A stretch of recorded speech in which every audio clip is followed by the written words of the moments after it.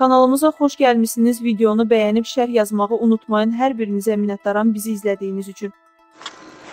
Azərbaycan ərazisi olan Qarabağ 30 illik işğaldan sonra azad edilib və haqq öz yerini tutub.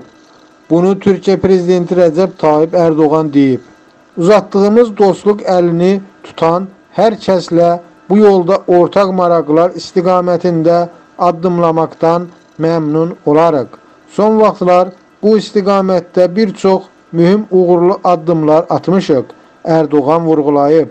Ölkəmizin ətrafında sülh və əminamanlıq zonası yaratmaq məqsədimizdə ciddi irəliləyişlər əldə etmişik. Regional inteqrasiya layihələri ilə əməkdaşlığımızı dərinləşdirməyə çalışdıq. Bunlara yenilərini əlavə etməyə hazırıq. Türkiyə lideri əlavə edib.